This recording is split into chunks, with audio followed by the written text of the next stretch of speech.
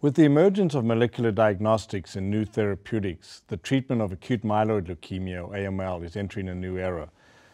I'd like to ask Jeff, what is your approach to the treatment of AML based on age, risk, and risk stratification, if you could enlighten us?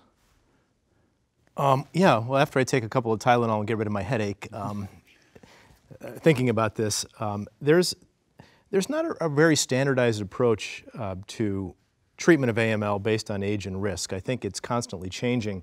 Uh, traditionally, we've thought about, uh, you know, AML treatment stratification uh, based largely on age, and the thought being that older patients, namely over 65 or 70, do um, significantly poorly from the standpoint of their disease biology and their ability to withstand therapy. Um, but more recently, I think we've, we've begun to understand that um, the main reason for treatment failure in AML is, is the disease biology. And we're entering an age where, where patients almost universally are, or in my opinion, should be treated. There's always an option for patients, but the reality is that the, the, the, treatments that we have are still failing the majority of patients. So when we think about age, we often think about um, there's not a hard cutoff, but I think most people would agree that once a patient reaches age 75, that the ability to safely administer intensive chemotherapy with a reasonable chance of, of a response goes down. Um, and we also understand that in patients with adverse karyotypes, um, and we will probably get into this a little bit, but complex cytogenetics, monosomal karyotype, um, and certain uh, specific mutational abnormalities will do more poorly with chemotherapy and should be stratified, um, hopefully, towards a clinical trial. But um, in some cases, perhaps um, a therapy regimen that does not include chemotherapy if, if the risk of failure is very high from a biologic standpoint. So there's still a lot of uh, a lot of hand waving going on with regard to how we should treat patients with, with AML and the absolute risk stratification. We have biologic risk stratification knowing um, how these patients respond to chemotherapy, but we don't have as good of an idea as to how the risk stratification system will parlay into therapies that are not traditional or perhaps more targeted.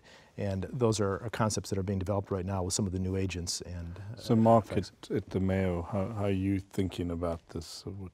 In terms of the AML patient? How do you stratify the AML patient? Well, I, I would agree with Jeff that I, I, think you know we need to move away from some of the traditional factors. Uh, uh, certainly, disease biology plays a, key role in terms of you know both the subtype of AML, uh, their molecular profile, their cytogenetic uh, factors, uh, the comorbidity indices that we talked about earlier are also, you know, playing a role in this. Um, you know, we desperately need new agents in this area, and I think there are some promising ones on the horizon. And so, again, as we often say, a clinical trial is often the best option for a patient if one is available.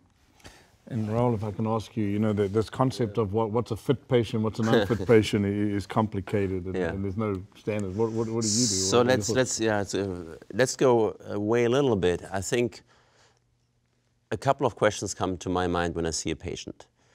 Is the patient, what is the chance of cure with chemotherapy alone? And that's mostly determined by cytogenetic risk stratification, whether it's primary or secondary AML, meaning AML that has occurred after previous cancer treatment. Because for, for secondary AML, a high-risk cytogenetic complex cytogenetics karyotype, you need a transplant. If the patient is 68 and a poor transplant candidate, from the beginning, I may not want to give him chemotherapy.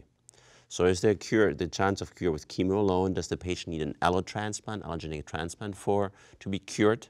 And if the patient doesn't meet any of those criteria, um, I may as well go with a low intensity treatment uh, regimen meaning, meaning not giving chemotherapy or induction chemotherapy altogether, choosing a 5-azacitidine, decitabine-based regimen alone or in combination, so lower intensity regimen.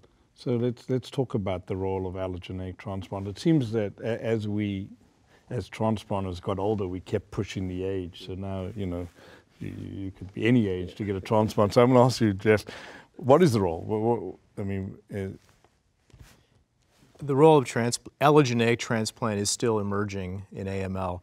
Um, there have been several randomized studies and meta-analyses analyzing this very question, and in general, um, in patients up to age 60 who have intermediate or high-risk disease based upon um, cytogenetics, they are thought to benefit from transplant, especially on a disease-free survival uh, basis and perhaps uh, uh, some improvement in overall survival in selected subgroups of patients, such as younger patients. Um, I think the general practice around the U.S. right now is to move towards transplant in intermediate or high-risk patients um, as, as a, a, general approach. That doesn't mean that every patient is, is, a, is, a, is a candidate.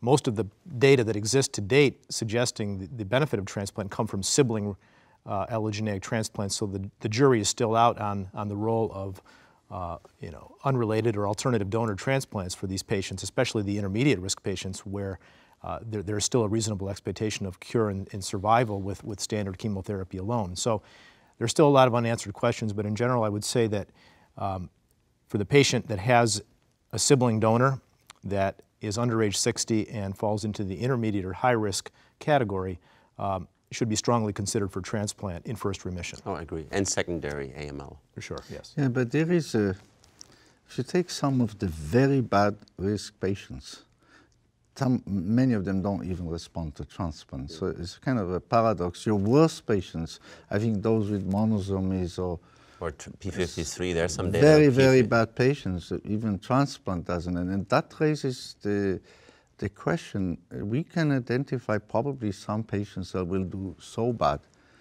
And, and we're not advancing so much with chemotherapy. There is a paper here from France that they gave gemtuzumab in a third, uh, added gemtuzumab in a safer way. Unfortunately, it was taken off the market here. And they showed a same benefit, but there's no benefit in overall survival.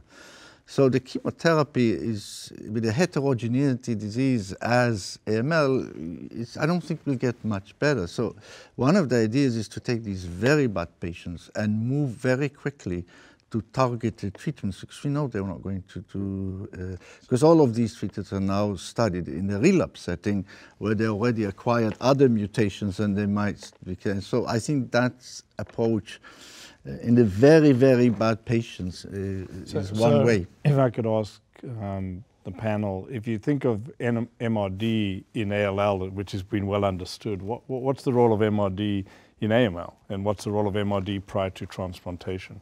Maybe, Mark, you can.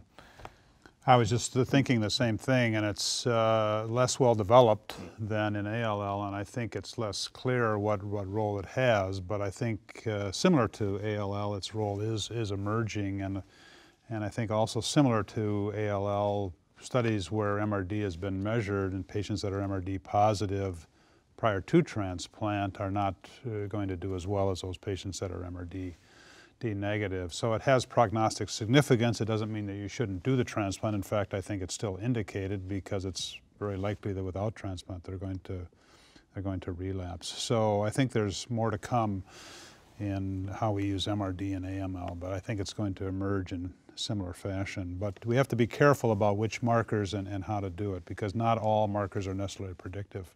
I just wanted to make one last comment on the on the role of transplant as well in that traditionally we think about transplanting patients based on cytogenetic risk, but more recently, over the past few years, the molecular genetic uh, risk stratification systems that are coming into play can also affect decisions about transplant. For example, patients that have an NPM1 mutation but are non-mutated for FLT3, studies have shown that those patients overall do not benefit from an allogeneic transplant. So within the molecular subgroup of, of within the intermediate cytogenetic, cytogenetic risk subgroup, there are molecular subgroups such as the NPM1 positive FLT3 negative patients who you probably don't need to transplant um, and that you can use those tools and those will be emerging uh, to, to, give us further guidance about which types of patients in the intermediate groups are truly high risk and, and perhaps would benefit from transplant or lower I, risk. I would even add maybe in the favorable the, the um, A21